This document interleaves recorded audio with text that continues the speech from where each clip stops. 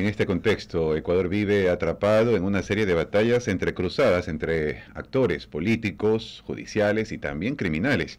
Este polémico caso Metástasis, liderado por la fiscal Diana Salazar, ha provocado un remesón que ha puesto en jaque, de manera directa o indirecta, a muchos de ellos. La investigación por presunta delincuencia organizada sacude, sigue sacudiendo los cimientos del debilitado sistema judicial, al punto que la fiscal Salazar ha advertido de una posible escalada de violencia por parte de los grupos criminales afectados. Para analizar todo este tema estamos ahora con el abogado Fausto Murillo Fierro. Él es vocal del Consejo de la Judicatura. Fausto, buen día, bienvenido a Un Noticias. Le saluda Javier Méndez.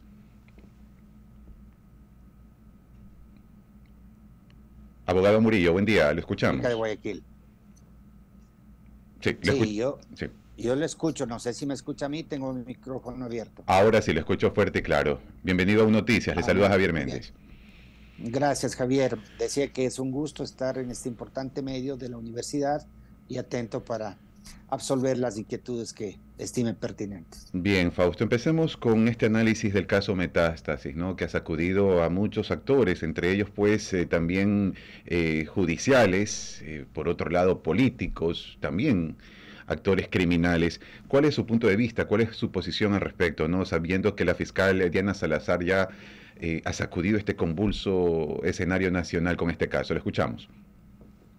Bueno, yo creo que la primera reacción, y al menos así lo siento yo, es una enorme vergüenza, siendo parte exjudicial y siendo parte de la función judicial hoy como vocal del Consejo de la Judicatura, es vergonzoso que se haya destapado esta eh, estructura que ha venido, según se aprecia de las investigaciones, ha venido actuando dentro de la función judicial. Y no solo dentro de la función judicial, también están involucrados eh, temas de, o personajes de la Policía Nacional, de SNAI y demás otras eh, entidades que están involucradas.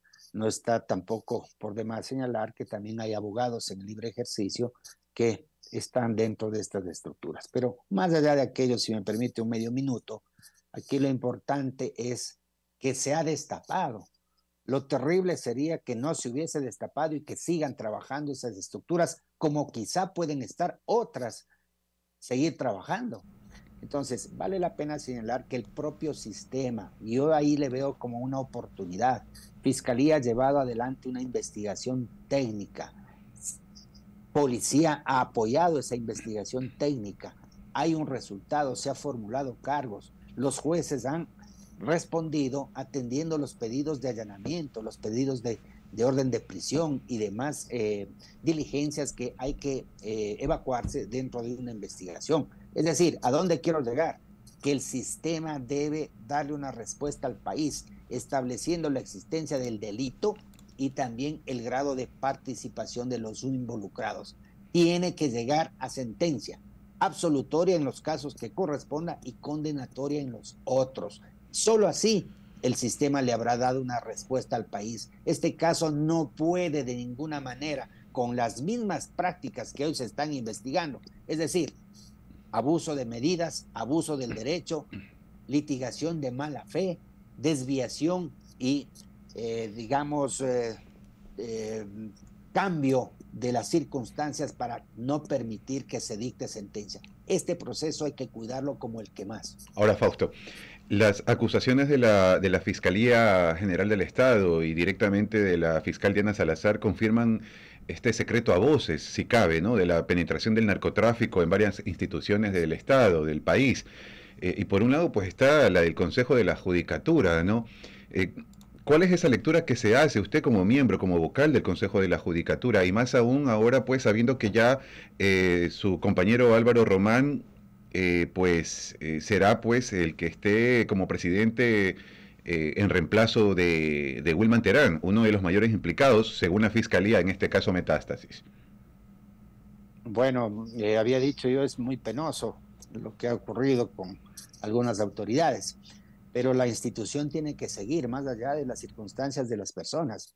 Y hoy por hoy, de acuerdo al dictamen de la Corte Constitucional, sentencia de Corte Constitucional con nombre y apellido, ha señalado que quien subroga en ausencia temporal del titular es el doctor Álvaro Román Márquez, quien seguramente el día de hoy acudirá al Consejo de la Judicatura, nos convocará a los vocales y nos reuniremos, convocará seguramente a una sesión y tomaremos decisiones, no solo respecto al concurso, sino también a la gestión y al trabajo de las direcciones nacionales, de las subdirecciones nacionales, de los directores provinciales que deben responder no a un vocal, no a una mayoría, deben responder a la institucionalidad, al propio Consejo de la Judicatura. Eso es lo que deben entender los servidores. No son servidores de los vocales, son servidores de la institución y por esa línea hay que trabajar. La Dirección General del Consejo de la Judicatura, también Fausto, pues ha suspendido la logística del concurso para selección de jueces de la Corte Nacional.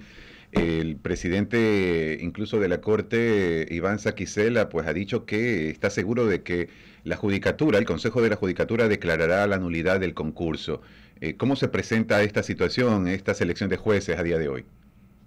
Bueno, primero el director general es un funcionario, un servidor subalterno del Pleno del Consejo de la Judicatura y no puede hacer más allá de lo que está previsto en la ley, en el reglamento para el concurso, en el instructivo y una de las obligaciones y responsabilidades del director general es informar al Pleno del Consejo de la Judicatura el avance o los avances que tiene el proceso. No puede tomar por su cuenta y riesgo decisiones sin que el Pleno del Consejo de la Judicatura las conozca. Analizaremos la gestión, la conducta y las acciones u omisiones del director general y de todos los involucrados en este proceso de selección para jueces de Corte Nacional de Justicia. Respecto a lo otro, he escuchado al doctor Saquicela eh, el pronunciamiento, pero nosotros somos el órgano competente. Nosotros tenemos que analizar y decidir en base a informes si corresponde, de acuerdo al artículo 53 del Código Orgánico de la Función Judicial,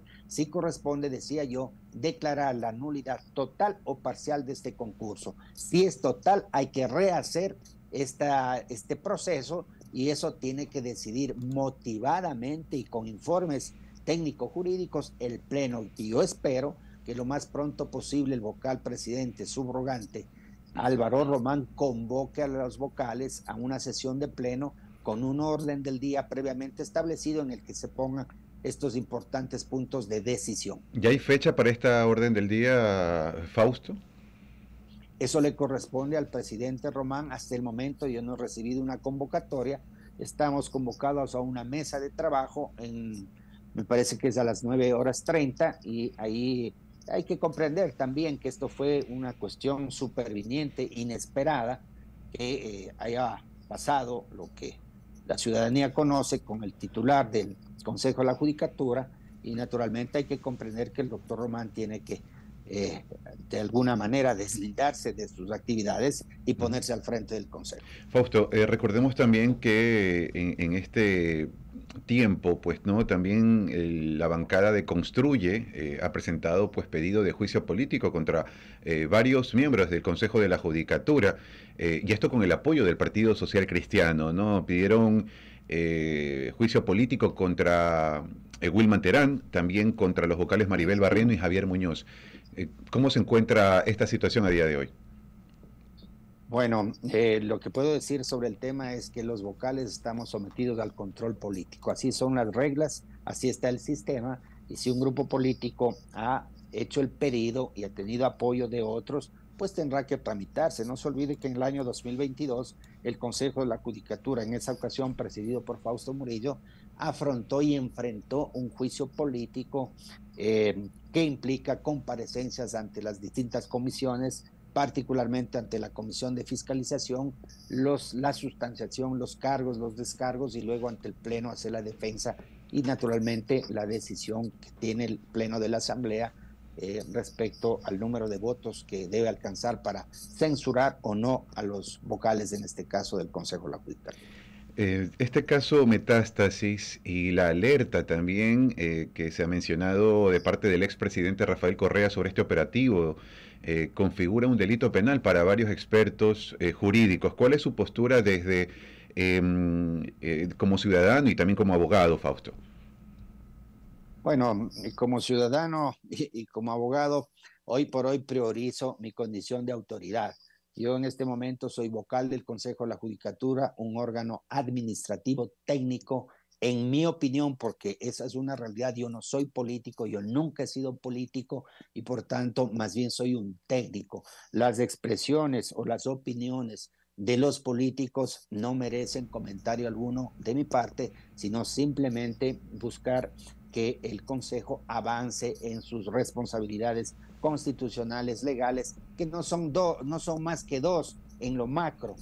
Mejorar el servicio de administración de justicia y modernizarlo. Hacia allá tienen que ir nuestros esfuerzos y desafortunadamente no es tan sencillo por una serie de limitaciones de orden económico, de orden material que hemos sufrido, pero también hay que reconocer que hemos tenido dificultades en el tema de la gestión por parte de quienes estamos integrando el Consejo de la Judicatura. Y de orden político también, Fausto. Muchas gracias por la entrevista, pues estaremos atentos a este avance eh, de los distintos procesos legales que se presentan en el país. Muchas gracias.